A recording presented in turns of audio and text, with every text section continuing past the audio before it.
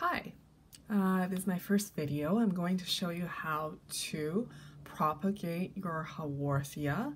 This is, I believe, Haworthia fasciata, and you can see it's uh, very elongated. It has nice growth on the top, but there might be some rotting going on in here. But as well, there's a bunch of pups or um, offshoots and uh, I'd like to make some little plant babies to share and to multiply my plant collection. Let's begin. Right, so I don't keep my Haworthia completely moistened. I like to let it dry out.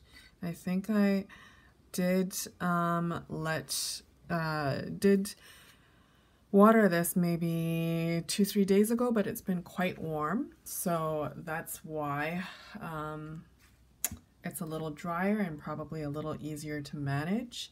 I feel like if you water it uh, right before you propagate, um, you might be giving some more um, higher probability to letting it mold or you know letting it uh, get infected with whatever's microorganisms are in your plant or your soil. So let's just take this out of here. You can see it's quite dry. I have some small gravel at the bottom there to help with drainage anyways. I'm just going to start by uh, cleaning away the soil so we can sort of look at how the roots are and the plant health. And it is actually quite dry, so it's been very hot. We've been having 30 degree weather. And some healthy rhizomes and some healthy roots here. I always get a little grossed out sometimes because I never know if they're worms. I shouldn't be that afraid, but you know, it's indoors anyways, but all right, just loosen some of this soil here.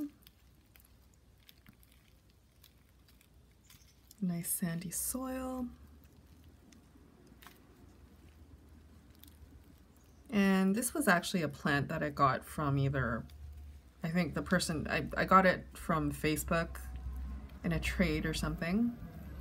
And it was dormant until a couple months ago and it just started with all this growth and all these pups. Sorry about that background noise there. I think that's about it. That's about all the soil I will get off because it is pretty caked on. So we can see that there's like a dead leaf right here. Usually what's been happening is if I just give it a small tug, it comes off, but uh, that one's kind of in, glued in. Let's see if I can do any more.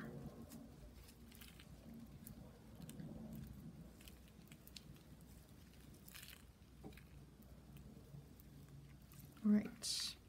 Okay, so with the pups on the bottom, I'm just to try to tug it and uh, pull it off.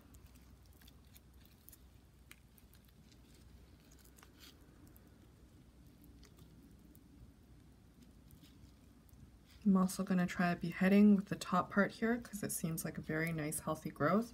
But you can see over here there's some root, uh, some rot actually.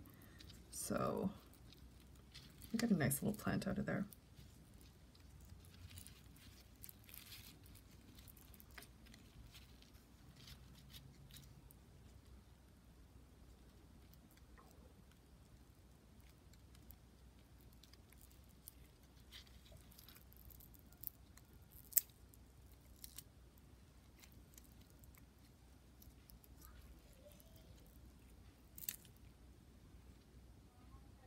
Can probably let this callus a couple days and repot it.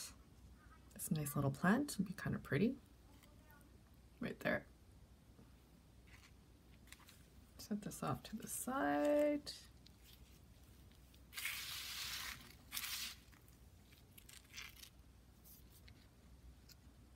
one, here's another one.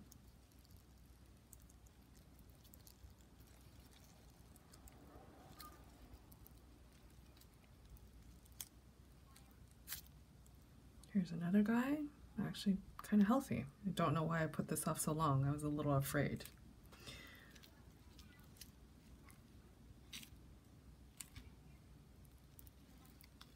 All right, what else do we got here? I thought there were more.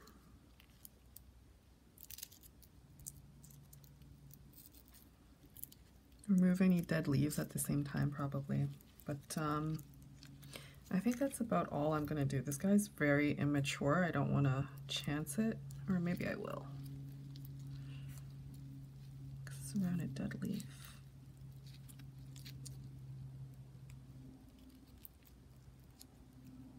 Let's see what happens here.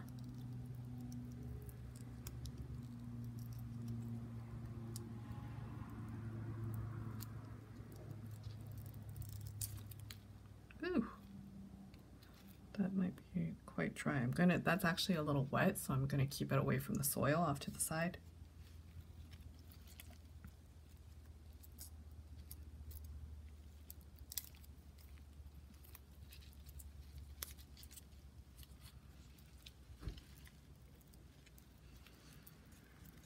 And this guy I'm just gonna twist. Yeah. I was gonna go with the um whatchamacallit dental floss, but I think twisting works just fine. So you can see there's already a bunch of little roots sort of forming here and not nodules. So this will be perfect for uh, putting into new soil and just uh, starting a new plant. Perfect. Great.